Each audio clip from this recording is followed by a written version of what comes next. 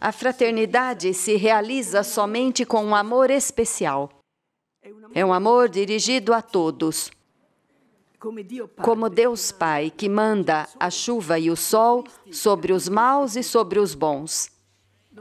Não é um amor dirigido somente aos parentes, aos amigos, a alguma pessoa, mas é dirigido a todos. Para isso já é necessário exercitação. Se saíssemos dessa sala unicamente com o propósito de amar todas as pessoas que encontramos, possivelmente, se formos cristãos, vendo Cristo nelas, porque Ele dirá: A mim o fizestes, a meu ver, já sairíamos ganhando, pois partiria daqui a revolução cristã. Este amor que é necessário para a fraternidade não é tolerância, mas é também tolerante. Não é solidariedade, mas é também solidariedade. É algo diferente, pois é o mesmo amor de Deus, nós cristãos dizemos, difundido no nosso coração pelo Espírito Santo. É um amor que toma a iniciativa, não espera ser amado. Ele se lança e é o primeiro a amar. Ele se interessa pelas pessoas Naturalmente, não devemos turbá-las. É um amor que toma a iniciativa, não espera ser amado. Em geral, nesse âmbito, esperamos sempre ser amados para poder amar. Ao invés, esse amor é o primeiro a amar. Por isso causa uma revolução. O nosso movimento é obra de um carisma de Deus e não nossa.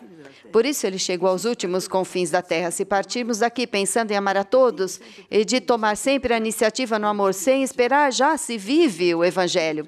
Entendeu o que é o Evangelho? É isso.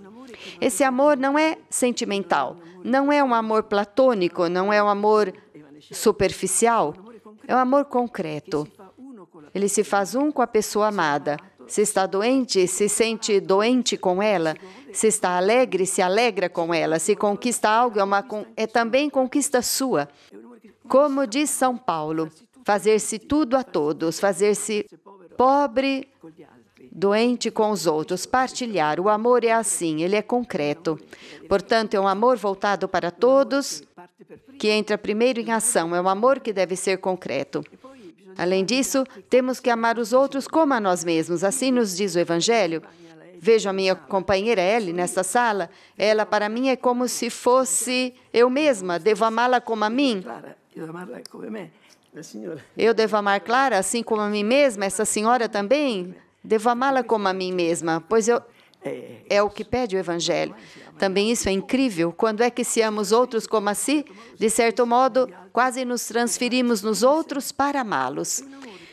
Se este amor for vivido por muitas pessoas, torna-se recíproco, pois eu amo Mários, Mários me ama, eu amo Clara, Clara me ama. Este amor recíproco é a pérola do Evangelho. Jesus disse: Eu vos dou um mandamento novo. Amai-vos uns aos outros como eu vos amei. Ele disse que esse mandamento é o seu e é novo.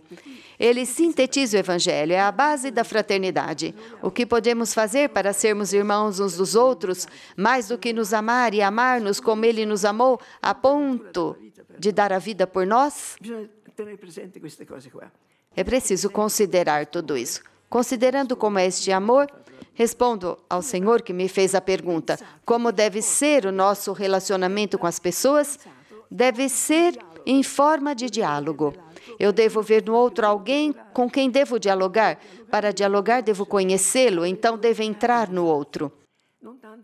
Não devo impor nada, mas tentar compreender o outro, deixar que ele se exprima.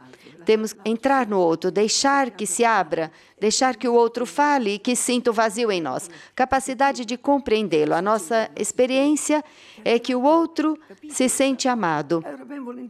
Por isso, espera com abertura o nosso discurso. O Papa diz uma frase muito bela sobre o diálogo. Então é preciso apresentar a nossa verdade, aquela que nós pensamos, mas que seja um respeitoso anúncio. Isto é, um anúncio que respeita o pensamento do outro, que não quer angariar prosélitos, que não quer atacar ninguém.